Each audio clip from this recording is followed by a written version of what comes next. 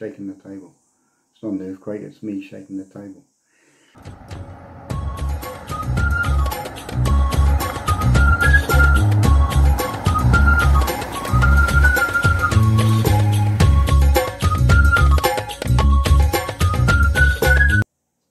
Well, welcome everyone. Uh, as you realised last week we toured the Taupo area and we stayed at the Debrett's Spa Resort in Taupo. We had a rather interesting time there. So this week we decided, because we've been there a few times, and we'd um, do a bit of a review on the place and, and share some of our findings with you. Uh, this is not organised by Debrett's in any way, it is purely our own opinion. We went down with our caravan and so we used a powered site. Now one of the things we noticed with Debrett's is that the size of the pitches or the sites as they call them in New Zealand is that they are very very mixed. The, um, you can get some small ones and you can get some pretty big size um, sites as well uh, with some of them have concrete slabs on, some of them just have grass and so on. So that's the first thing we noticed.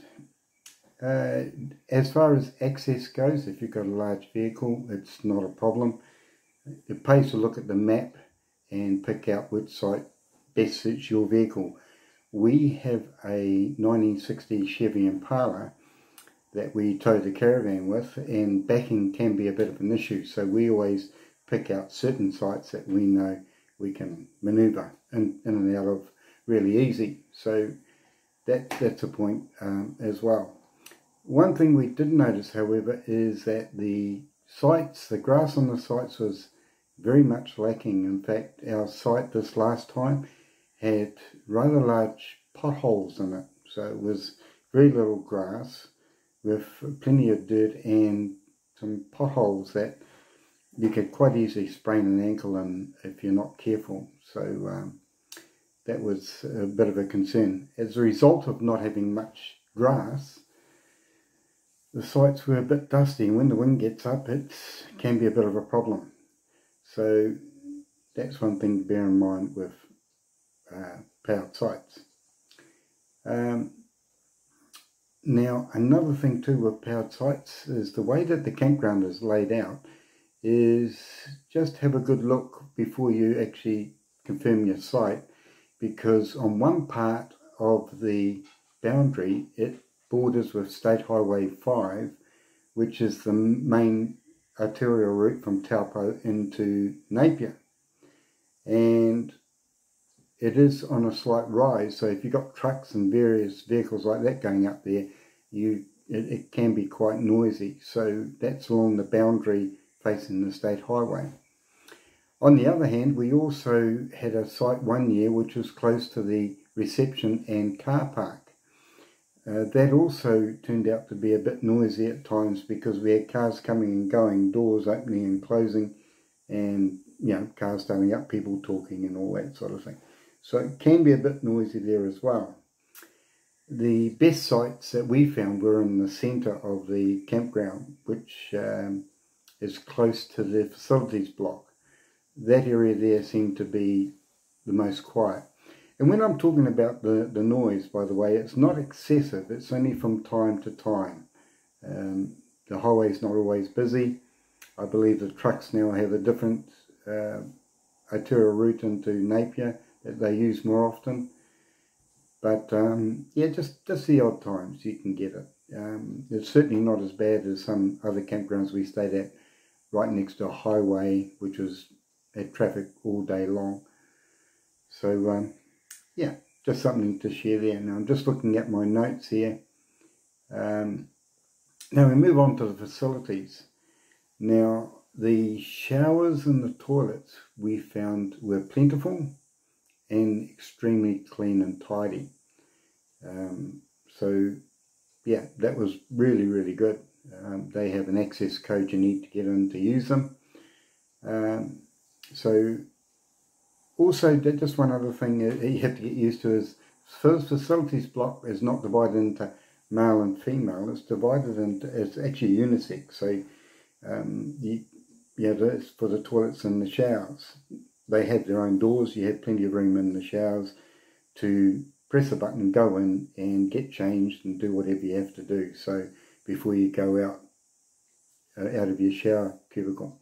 So there's no problem with it being a unisex facility. It's, um, as I said, it's very clean, very tidy and quite roomy. So, um, and the showers are, are very, very good.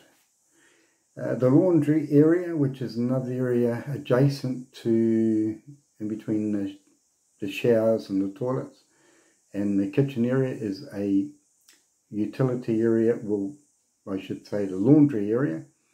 Once again, very, very tidy and clean, and good size washing machines and dryers. Um, and we found those very good. We did actually use them. Oh, I'm shaking the table. It's not an earthquake, it's me shaking the table. Uh, so that's that's another thing. Um, the kitchen area. Now that was quite impressive. That was just like all the areas of the facilities.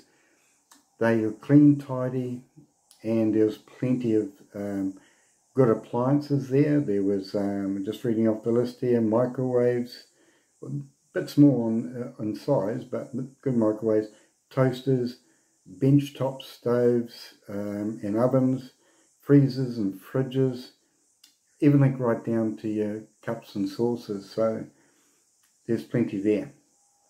And also the washing up area, that was huge. It was um, all stainless steel, all kept really nice with the everything supplied like the detergent, the, the washing up cloths and, and the tea towels, everything you needed to use to wash up your dishes, etc. Uh, the dining room, um, once again, nice and tidy, good size uh, dining room.